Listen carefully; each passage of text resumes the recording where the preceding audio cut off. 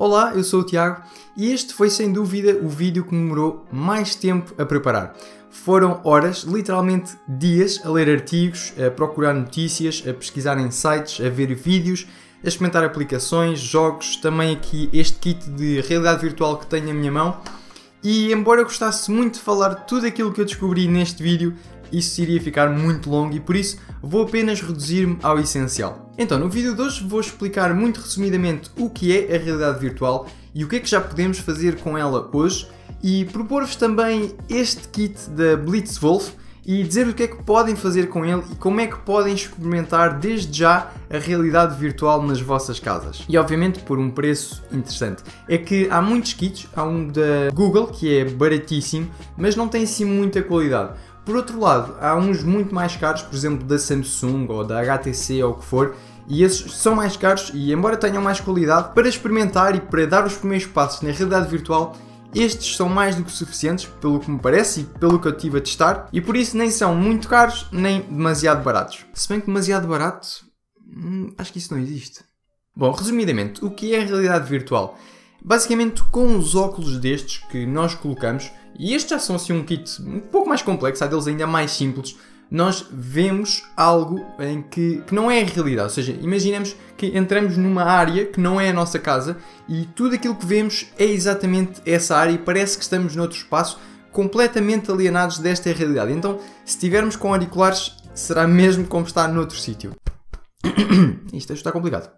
Mas pronto, a ideia é colocar-nos num novo ambiente e ser muito mais imersivo. Por exemplo, jogar um jogo. Imaginem um jogo de matar zombies em que eles estão mesmo, mesmo em cima de nós e isso pode causar algum receio. Ah. Ou um jogo em que estamos a escalar uma montanha e se olhamos para baixo uh, temos vertigens, porque estes óculos vão, vão responder para onde nos viramos. Ou seja, se viramos para a direita, vamos ver o que está à nossa direita, não é com o comando, é mesmo o nosso movimento. E isso faz mesmo com que estejamos dentro da área. Imaginem também ver um concerto de um artista, do vosso artista favorito, está a algures noutro país, e vocês em casa com estes óculos, de, se forem de boa qualidade, é como se estivessem lá mesmo no concerto, na primeira fila, a ver o vosso artista. Ou então, por exemplo, no desporto, estarem no meio de um campo de futebol e conseguirem ver a ação muito mais próxima. Enfim, há imensas possibilidades. Por exemplo, nos ginásios em que estamos a fazer bicicleta, podemos colocar uns óculos destes e começar a ver um sítio onde, por onde estamos a pedalar e a andar de bicicleta, por exemplo, à beira-mar, no sul de França, por exemplo, porque não? Uh, ou então já existe, isto que eu estou a falar são coisas que já existem, por exemplo, a máquina do remo, em que podemos estar a remar, na realidade, uma canoa e estar, por exemplo, numa, num lago no meio de duas montanhas. E isso é muito mais agradável do que estar simplesmente a fazer exercício com imensa gente à nossa volta e todos num espaço encafuado com pouca luz. Ok, os ginásios normalmente têm muita luz, mas é mais agradável imaginar que estamos noutro espaço e então é aí que a realidade virtual entra e tem muito, muito interesse. E na verdade tem muito, muito mais aplicações, já poderemos já falar disto mais daqui a um bocado, mas Queria dizer-vos, isto não é o futuro, isto é mesmo o presente. Obviamente que tem ainda muito que melhorar em termos de qualidade de imagem e a questão dos enjoos e tudo mais, mas já temos uma boa percepção do que é que será isso no futuro quando estiver mesmo, mesmo perfeito. E há dois pontos a terem atenção. Um é que existem muitas marcas a competir e infelizmente eh, não há compatibilidade direta, ou seja, há, um, há jogos na PlayStation VR que também têm uns óculos deste tipo que eu não posso jogar nestes óculos.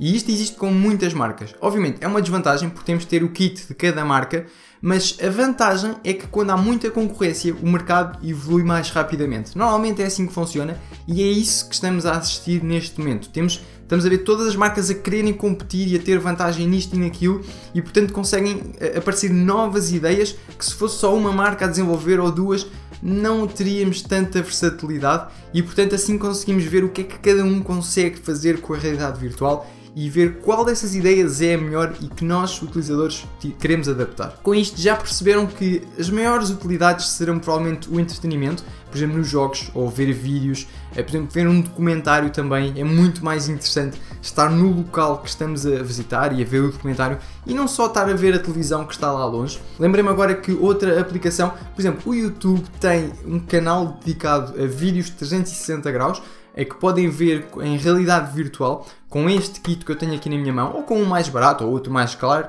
caro, claro, e é muito mais imersivo. Por exemplo, dá para ver o lançamento de um rocket uh, muito mais de perto do que nós veríamos na televisão. Dá para visitar o Palácio de Buckingham, dá para visitar a Casa Branca, dá também para visitar a Ópera de Sydney. Portanto, há imensos sítios que nós podemos ver com a realidade virtual e podemos imaginar uma aplicação, por exemplo, crianças numa escola que não dá para visitar em todos os pontos do mundo, mas pelo menos se tiverem todas esta, esta possibilidade da realidade virtual, já terem uma ideia do que é que é isso que a professora está a falar na aula e acho que é muito, muito mais interessante. Obviamente que isto é uma ideia do futuro porque tem que ter alguns pormenores, uh, tem que ser tomados em atenção alguns aspectos para isto funcionar bem, mas é uma possibilidade. Obviamente que não estou a dizer para não viajarem, porque é muito diferente, mas com isto é melhor do que ver um ecrã plano. E não só o ecrã, também o som é muito importante, por isso, acompanhado deste sistema que nós colocamos aqui na cabeça, já agora para se tornar isto mais divertido, agora não estou aqui a ver nada, mas se colocarmos uns auriculares ou uns headphones, isso vai tornar todo o ambiente muito mais imersivo porque com som espacial 3D, que é uma tecnologia que também já está a ser desenvolvida, parece mesmo que estamos no local. Imaginem debaixo d'água. E pronto, já estou aqui a falar imenso de possibilidades que podem, que podem ser feitas com a realidade virtual e ainda estou na primeira página, portanto é melhor eu ficar aqui mais calmo e vou para o objetivo deste vídeo que é falar do que é que vocês podem fazer com este kit da Blitzwolf. Basicamente, todos os vídeos do YouTube que suportarem o cardboard, ou seja, a realidade virtual, podem ser vistos com estes óculos. Ou seja, basta porem aqui o vosso telefone, isto abre, colocam aqui o vosso telefone, ajustam, uh, isto é entre 3 polegadas e meia e 6,3. Eu neste caso fiz o teste com o Mi 5S, que tem um ecrã de 5 polegadas, portanto cabia perfeitamente aqui, isto está para ajustar. E depois podemos também ajustar a distância a que as lentes estão do ecrã do telefone. Se repararem aqui, ok, já consegui abrir. Isto tem aqui duas lentes que são as que vão ter a olhar para o telefone. Pronto, e basicamente está aqui um rocket a ser lançado. E o que vocês conseguem perceber é que está a dar a mesma imagem nos dois lados, portanto o ecrã está dividido ao meio. E eu agora vou parar isto porque o ruído. Ok, não sei parar isto, mas não faz mal. E portanto, com estas duas lentes, vai estar um olho para cada lado e a imagem vai ficar junta mais ou menos. E é aí que este, que este kit é importante. É que dá para ajustar o foco e tem que estar bem focado. Peço desculpa, silêncio que eu estou aqui a falar. Uh, e portanto o foco tem que estar bem ajustado, que é para não estar a imagem desfocada e isso causar dores de cabeça que pode ser um sintoma que alguns de vocês podem sentir se isto não estiver perfeitamente bem alinhado. Outro pormenor que eu gostei deste kit é que tem aqui as entradas de lado, ou seja, pode estar o telefone a carregar enquanto estamos a usar, é porque isto gasta alguma bateria, estar o ecrã tanto tempo ligado, e também a saída dos auriculares, neste caso é aqui em cima, no, no Mi 5S, e portanto pode ter os auriculares a sair de um lado e a carregar do outro, e com estas entradas aqui isso é possível. Deste lado também é, é almofadado, é muito, muito confortável, e na parte de cima dá para ajustar o aperto uh, na cabeça, e aqui atrás, pois na parte de trás da cabeça também dá para ajustar, e portanto é muito, muito confortável, e isso é algo que eu notei logo de diferença daquele kit mais barato da Google, que é basicamente um cartão. E honestamente não vai ficar muito melhor do que isto nos kits que são mais caros. A diferença será talvez o peso, o peso é muito, muito importante, porque vocês imaginem estarem muitas horas com uma coisa destas aqui colocada. Obviamente isto não é extremamente pesado, mas é chato se quiserem ver um filme, e essa é uma das propostas, ver filmes em 360 graus, eu acho muito pouco prático. Primeiro porque tem que estar sempre a balançar a cabeça, a ver o que é que está a acontecer, e depois porque é pesado estar uma hora e meia com isto, eu acho que é chato, não sei se é por aí que vai ser o futuro, embora muita gente já esteja a desenvolver coisas destas. Para jogar acho que faz sentido, para ver vídeos não sei se é o ideal. Os tais documentários que eu vos falei, ou este vídeo de 3 minutos no YouTube, acho que faz todo o sentido. É o tal, a tal visita ao Palácio de Buckingham, em que a pessoa está com isto colocado na cabeça e até está a agarrar, a ver e tudo mais. Agora, a ver um filme, estar a agarrar durante uma hora e meia, acho que pode ser aborrecido. Mas todas as outras experiências no YouTube eh, ficam muito, muito interessantes com isto. E depois, as outras aplicações que são mesmo muitas. Há uma para visitar um vai-vem por dentro, um vai-vem espacial e ver como é que ele é por dentro. Uh, há imensos, imensos jogos e cada vez mais. Imaginem um de uma montanha russa e então é, há uma piada que está num vídeo no, na internet, não é com estes óculos, mas é com outros uh, um bocadinho melhores, que num centro comercial está uma pessoa a experimentar esses óculos e no momento em que a montanha russa está a subir, quando ela começa a descer, há alguém que empurra essa pessoa e ela está completamente imersível, está, dentro, está mesmo dentro daquilo e de repente ela entra em pânico, acha que vai cair e começa aos gritos no centro comercial. E isso é uma experiência que vocês podem fazer com uma coisa destas e verem que ficam mesmo dentro daquilo, como se estivessem mesmo a andar numa montanha russa. Eu acho que isso é muito interessante e para os jogos, isto é sem dúvida algo que as pessoas vão gostar muito. O futuro é sem dúvida melhorar a qualidade de imagem. Neste caso, estamos a usar a qualidade do telefone, que tem que ter um giroscópio e um acelerómetro para ver para onde é que nós estamos a mexermos. Uh, isso também para permitir que nos mexamos nos jogos e tudo mais. Portanto, a qualidade de imagem e depois isso também vai ter custo. É que reparem, se a qualidade de imagem é melhor, isso vai consumir mais bateria, vai exigir um processador melhor que processe tantos pixels. Neste caso é um ecrã Full HD, dividido ao meio uh, fica com menos qualidade, agora não sei os números de cor, mas o ideal seria ter um ecrã 4K de cada lado, quer dizer, isso é muito, muito dispendioso em termos de um processador que esteja a processar duas imagens 4K em simultâneo, por isso há várias formas de ultrapassar isto e de melhorar isto, e acho que era um tema muito interessante para debater mais à frente, não neste vídeo que ficaria muito longo e de certeza que já está longo, mas que vou querer falar convosco e também falar sobre a realidade aumentada. E acho que essa sim tem muito potencial para a outra questão que não são os jogos, nem os concertos, nem os vídeos, nem os filmes.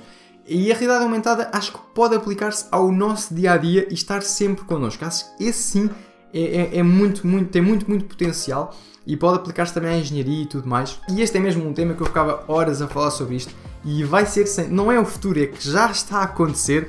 Uh, simplesmente o futuro vai trazer melhor qualidade e outras aplicações, mas já não é o futuro, isto já é o presente e quem tiver uma coisa destas já pode experimentar na primeira pessoa e ir vendo as evoluções.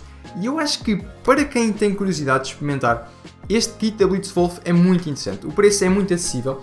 Há também um kit com o comando incluído. Não, não é muito caro este comando. E se for com o kit de uh, se escolherem os dois ao mesmo tempo, fica mais barato e dá jeito, por exemplo, para algum, joguinho, para algum jogo ou também para navegar em alguma aplicação, em vez de terem de abrir a tampa e carregar no telefone, usam o comando para selecionar a opção que querem. Isso é muito prático. Não sei se disse, mas o comando é Bluetooth, portanto funciona sem fios e é super, super leve. Outras aplicações da realidade virtual e que podem ser ou não com este kit é, por exemplo, para escolherem a próxima casa, em vez de andarem a visitar casas e casas e casas, têm um kit de realidade virtual para verem a próxima casa ou para verem como é que ficava a vossa cozinha do IKEA. Isto já existe, eu não estou a inventar. O IKEA já tem este sistema de verem como é que vai ficar a vossa cozinha, pôr ali o móvel e ver se fica bem ou não e em termos de espaço, distâncias, etc. E isto é muito, muito prático. Imaginem também para escolher um carro poderem ver o carro e mexerem-se mesmo e irem vendo o carro de várias perspectivas.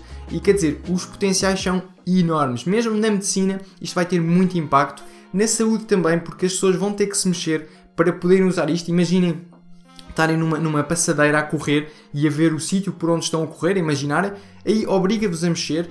Uh, ou se quiserem jogar um jogo, por exemplo, há um, há um, muito engraçado de cortar lenha e portanto vocês com dois comandos na mão estão a segurar na serra e a cortar e portanto obriga as pessoas a mexer e eu acho que isso é interessante e é mais interessante do que estar parado a olhar para um ecrã uh, ou sentado no sofá ou o que for e por isso acho que a realidade virtual vai trazer não só uma melhor experiência de jogo como também alguns benefícios para a saúde. E este é mesmo um tema que eu gostava de falar em mais detalhe Uh, e provavelmente vai ser, se calhar, numa live, que é algo que eu quero trazer aqui para o canal em 2017, parece-me um bom ano.